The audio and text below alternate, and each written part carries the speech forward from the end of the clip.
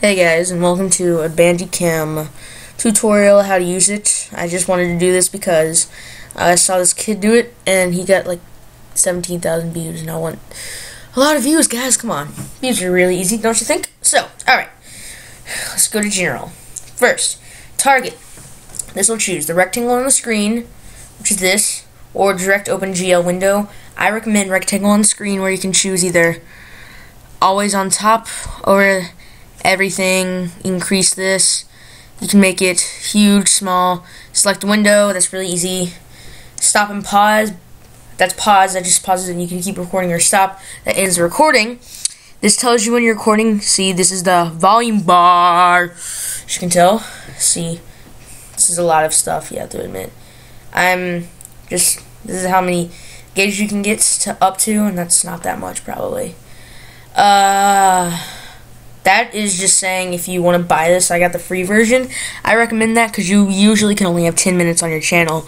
They like me enough so I can have over 15 because I'm awesome like that. So yeah, once you hit I think 50 videos, they give you more freedom. And so yeah, that's that's general.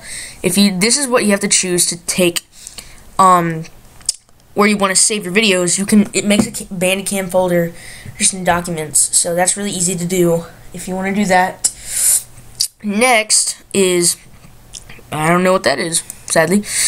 Okay, record stop is F12, which I recommend changing that. Let's change it right now. Let's try back no enter. Enter will be the stopping point. That's really simple. But really all you have to do is if you want to stop it just press that or if you're in a hurry like when I'm playing Minecraft or something you just press enter. But I'd change it because you're if you type you press enter. So let's try um, Alt. That's fine. Alt is really easy. Now, hide mouse cursor. I don't want to do that because I just want to show people. But if you want to do Minecraft, eh, I don't think it matters. Add mouse click effects. I guess. Sure. Settings. This is your how you want to record it. That's fine. Everything. Then you have a primary sound capture. That's fine. Yep, you're still recording. That's good. And yes, that's your video size, your audio size.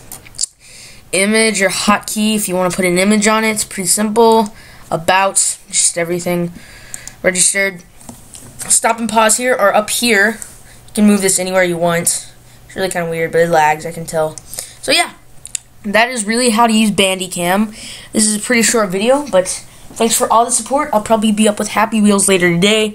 More Minecraft and just video games all around the world. Bye, guys. Stay awesome, stay duck. Awesome Duck 13. Rate, comment, subscribe. Bye.